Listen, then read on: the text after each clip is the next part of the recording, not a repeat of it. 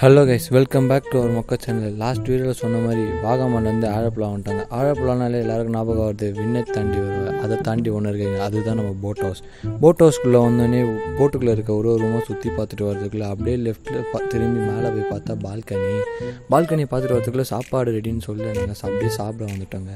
சாப்பிட்டு முடிச்சுட்டு பார்த்தா ஒரு அண்ணன் வேகமாக போட்டை விட்டுட்டு இருந்தது என்னது நான் இதை கேட்க? இதுதான்ப்பா ஸ்பீடு போட்டுன்னு சொல்ல. அந்த போட்டில் நாங்கள் ஏற. அவர் விட்டார் எங்களை மிரல கொஞ்ச நேரத்துக்கு எங்களுக்கு மூச்சே வரலைங்க.